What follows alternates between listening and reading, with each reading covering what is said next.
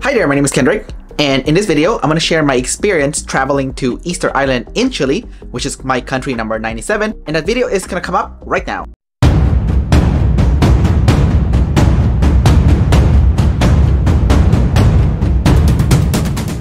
Easter Island has always been in my bucket list of travel destination, and the only problem is that getting to Easter Island is rather difficult and also expensive. Lucky for me, I managed to save up some Scotiabank scene points and use those scene points to help me reduce the cost of flying to Easter Island itself. Now, for the actual trip to Easter Island itself, I was fearful that I was not gonna make it because when I left Canada to travel to Chile, I actually got stranded in Toronto and also in Montreal for 5 days total because of the Snowmageddon. So when I finally made it to Chile and I was now gonna fly to Easter Island, I was worried that the flight was not gonna happen. Lucky for me, the flight did go through and it was a rather pleasant flight. And before I knew it, I managed to arrive in Easter Island with my girlfriend Karen to go enjoy and start our trip.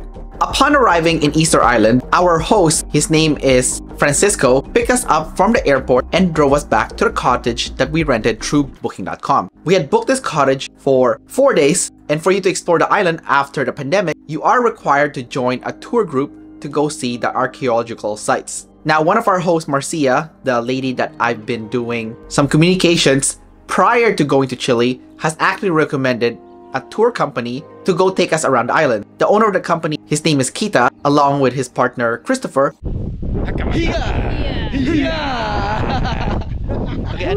will actually show us around and to visit all the major sites. However, on our first day in the island, we had an absolute bad luck. It was January 1st, 2023, and all the restaurants were closed as a result of the new year. When we finally found a cafe that was still open, Karen and I ordered a chicken dish with french fries, and after eating it, by the time we went back to the cottage, we started feeling a little bit off. Before you knew it, we actually had food poisoning as a result of this meal. This will end up making our trip coming up to the future to be a painful one because of all the stomach issues that we're gonna experience as a result. Regardless, we still went through with the tour because we wanted to see the island and everything it has to offer. Now the tour company that we joined offered two separate tours and each of those tour is a full day tour to go see the archaeological sites. They cost 50,000 Chilean pesos each day. And the focus of this tour company is storytelling, which I will admit is actually one of the most fantastic tour I've ever joined in my life. After Kita and Christopher picks us up from our cottage, our first destination in Easter Island is a place called Vaihu. In this place, we got to check out how the early Easter Island Rapa Nui people, who are also Polynesians, how they live in this island.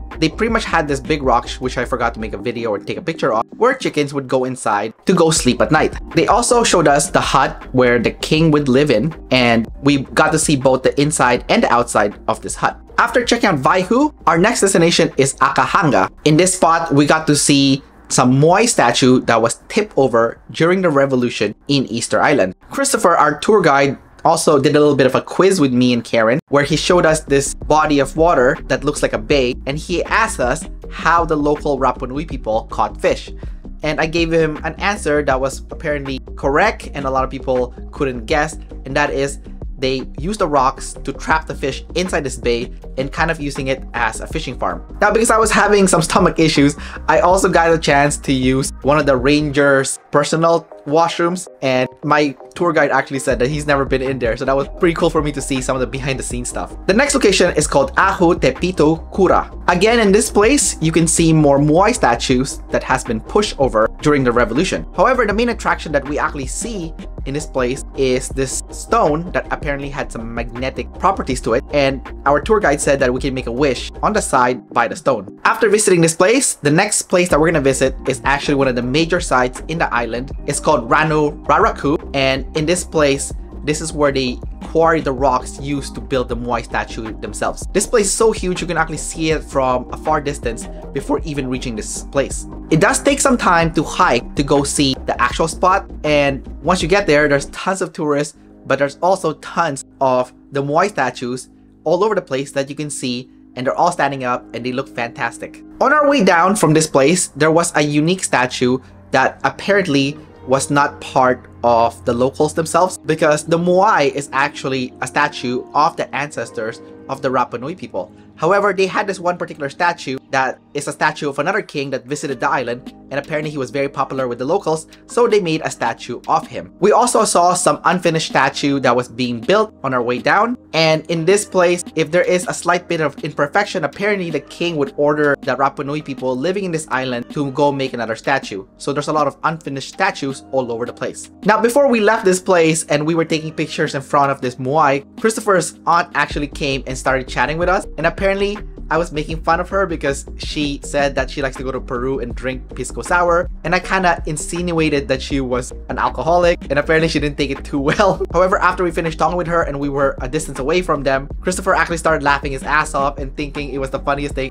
that I've ever said during the tour. So even though I was feeling sick during the tour, I still had some sense of humor and decided to crack some jokes because at the end of the day, I'm a troll. The next place that we visit is called Ahu Tongariki and this is the main event of the whole Easter Island in terms of the size of the statue. This place is full of massive standing statues and apparently at one point a big tsunami hit the island tipping them all over. Then a Japanese person came to the island and figured out a way to bring them back upright so they're standing for the tourists to see and among all the statues there they only put the top knot which is that hat on one of the statues. Now the reason why the top knot is of the red color is to symbolize femininity because in the Rapa Nui culture, they respect both masculine and feminine energy which makes a lot of sense and I think it's a problem when you don't respect both of those energies. After taking lots of pictures and videos of this place, and that's what all the tourists were doing here, we got a chance to loop around the statue, see it from the backside before heading out to go to our next destination. The last destination that we visited is called Ahu Nau Nau, and this is actually the beach area, and nearby there's a lot of places where you can eat and buy food. But at this point, we did see some moai, but I wasn't paying attention anymore at this point because I was feeling really sick. So I had informed our tour operator, Kita and Christopher,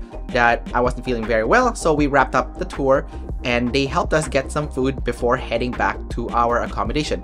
We ended up getting some tuna, which is milder for our stomach than eating a chicken. And I spent the rest of the day just sleeping in the cottage as I tried to rest off the food poisoning bout that I was experiencing. On the third day on the island and doing our second full day tour, I was feeling a little bit better than the previous day, which is great. And I was able to enjoy this tour significantly more. Not that I didn't enjoy the previous day, I did enjoy it a lot, but obviously it's more enjoyable when you're not feeling sick. Our first stop is called Ahu Huri a Urenga, and this is a lone Moai statue on the island, but I forgot the reason why this was important. The next spot that we visited is called Akivi, and this spot is fairly important because a lot of the statues here are well preserved, they're standing upright, they're much smaller than the statues from the day before because the smaller statues are from the earlier days when they were building the Moai and over time they wanted bigger and bigger so the smaller the statue the older they are. This area is also the starting point if you plan on doing the trek to the highest point of the island. We didn't end up doing it because I was still not feeling good and I thought it would have been a bad idea so we decided not to go through with the trek. However, Akivi itself was pretty cool, it was nice to see